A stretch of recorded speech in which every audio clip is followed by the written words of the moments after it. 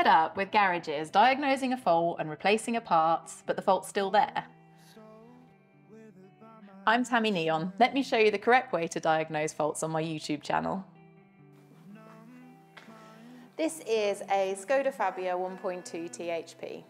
The AA diagnosed it with a temperature sensor issue. Went into a local garage, they changed it, this little part here, and it's still got the issues, which is why it's here.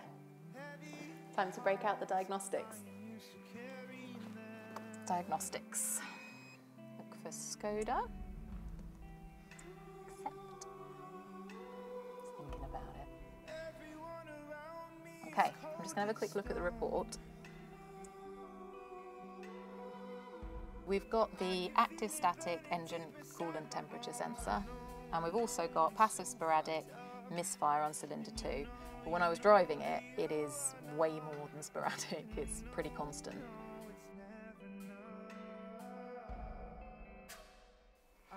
I've got passive sporadic load signal and engine control unit. That'll be the misfire. I've got some air conditioning faults, but I'm not really that interested in those ones. And I've got one for the radio, but I'm not really interested in that either.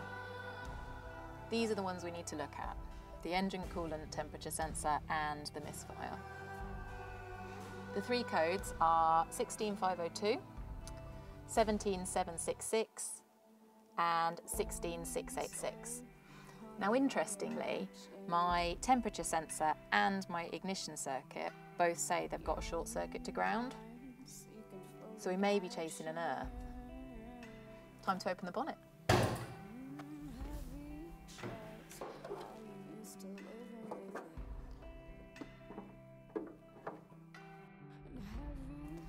Okay, so the first thing I'm going to check is this bolt here. It looks like it's got a bit of corrosion on it. So check this earth. This is where the coil packs are kept. And then this wire here, this one goes to the temperature sensor kind of looks like somebody's already been in it. Whilst I'm cleaning up the earth, I'm also going to move everything round. As my issue's on number two, I'm going to move the plug to cylinder one and I'm going to move the coil pack to cylinder three. By moving them around, it'll tell me whether or not it's a component issue or a wiring issue. If the fault's moved, it's a component issue, but if it stayed exactly the same, it will be the wiring. It's a smart move to mark them as she removes them, ensuring she knows where they originated. With a well thought out plan in hand, Tammy now needs to remove the plug from the cam sensor. Next, she can carefully extract the coil packs from the cylinders. These coil packs play a critical role in delivering an electrical charge to the spark plugs. Fortunately, this is a minor issue that can be easily resolved with a quick clean before reattaching it. With those components out of the way, she can swiftly remove the spark plugs from cylinders 1 and 2. Reinstalling them with the precision of a pro takes just a minute or two. The coil packs are interchangeable, provided you've mastered the art of dealing with Volkswagen's locking clips. They can be repositioned effortlessly. Before securing them back into the wiring harness and reconnecting them to the spark plugs, a gentle tap on the top ensures they're securely seated. Now, it's time to address the earth wire. Clean it up before bolting it back in place. This meticulous process helps ensure the engine continues to run smoothly. Hey Tammy, don't forget the cam sensor plug, otherwise the car won't start. With that all swapped round, what I need to do is clear the fault codes, start the engine, and then rerun the diagnostics to see whether the fault codes have moved or whether they've cleared entirely. Quick erase. That has cleared the fault codes in the engine. I now need to turn the ignition off, turn the engine on and let it run for 30 seconds before running the diagnostics again.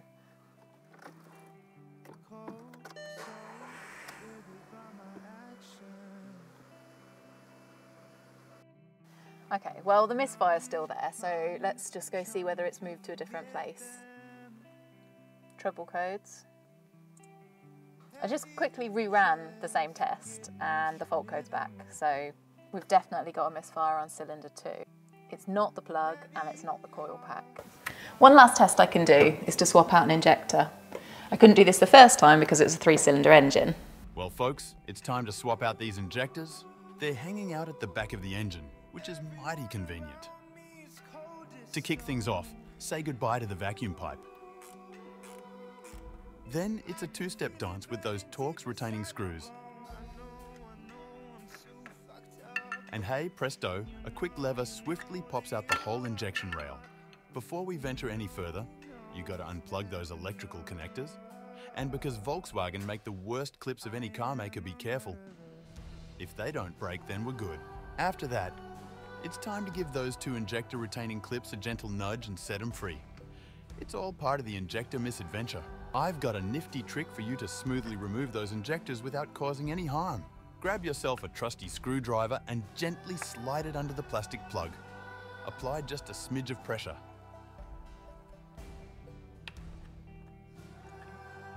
Tammy's all set to perform a swift injector swap between numbers 1 and 2. Putting them back is just as easy, folks. Simply slide the injectors in. Reattach those retaining clips. Gently tap the injector rail back into its groove. And secure it with the two trusty Torx bolts. But here's the kicker. Tread carefully because these bolts screw right into the plastic manifold. No need to go overboard with the tightening, or you'll be facing a world of hurt.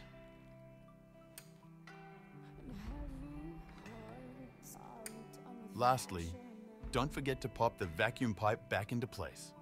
Once that's done, fire up the engine and let's see if our misfire troubles have been sent packing.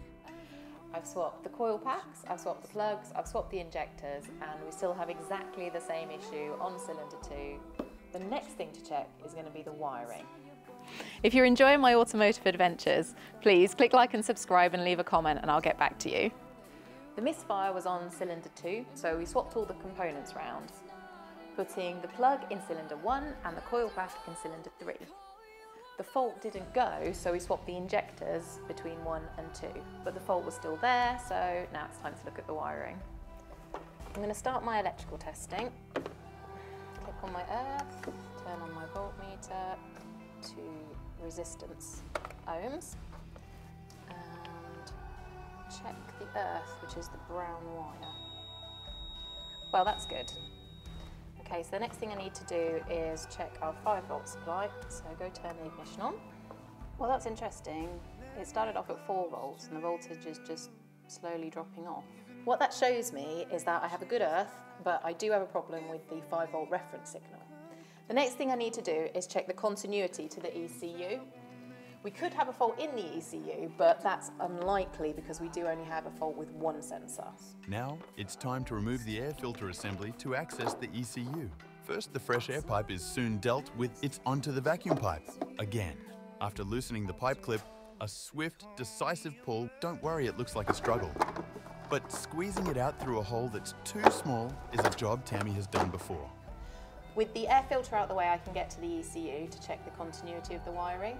But here, it's got an anti-tamper bar, which I'm going to need to remove first. The best way to remove the anti-tamper bolts is with a disc cutter, and I'll show you what it looks like afterwards so you can see how I got it out. Be careful using power tools. So the important thing with these is that you cut straight through the head and into the thread because that releases the pressure on it. And then with a pair of pliers, you can grab it, get a good grip and undo it. With the cage removed, Tammy needs to release the ECU wiring clips before pulling it out. Let's the ECU out. I looked up online and it's pin 64 that I need to test to check for continuity. The eagle-eyed of you will have noticed it was pin 60 and 74. However, Tammy is going by the pictures and it's the top corner pin so she won't get it wrong. It's handy these plugs are close together. Tammy manages to slip both ends in one hand, leaving the other free to probe the ends of the wires. You can always get a friend to help at this point. Well, maybe not him. That shows us that I do have an issue with continuity because the meter was all over the place, it didn't go to zero. What I now need to do is look for any obvious damage in the wiring loom. On most cars, you'll have two or three plugs that go into the ECU. You'll have one that goes to the car and you'll have one that goes to the engine. I know on this one, this is my piece of loom that's got the issue to my problem plug. I'm going to un unclip this length of loom, but I can already see where my problem is. I can tell the loom's rubbed here, And if I pull it away, you can actually see the green corrosion here. And underneath, I can actually feel a hole. there we go.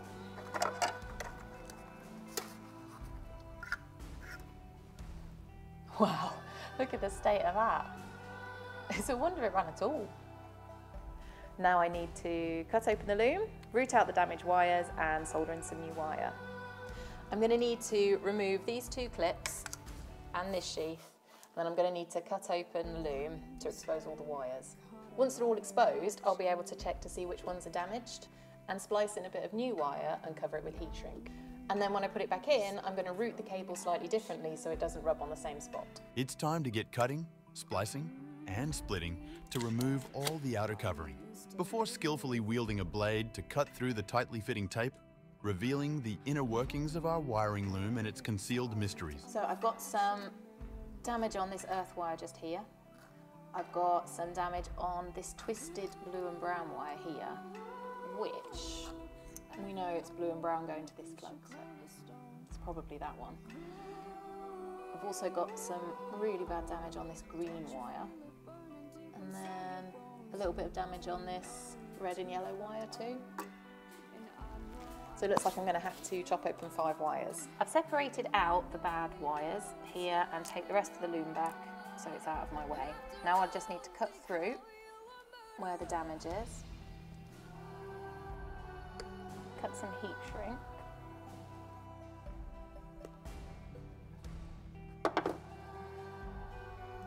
Slide it onto the wires. I fitted the heat shrink before I stripped the wires because it just makes it easier.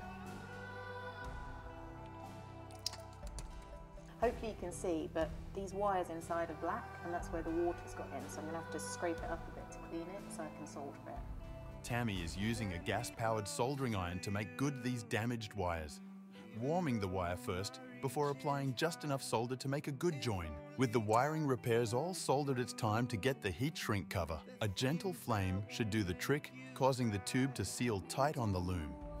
That's my loom repaired. I am going to just put the ECU back on and check everything works before I tape it all back up. Yes! As you can see, it's running fine. Finally, Tammy can tape up the loom, protecting the wires from dirt and water. I've moved the clip from here to here to stop this happening again. Clearing the fault codes for a fresh test, Tammy needs to run the engine for 30 seconds or more before rechecking the system and that's the legend, folks. No fault codes detected.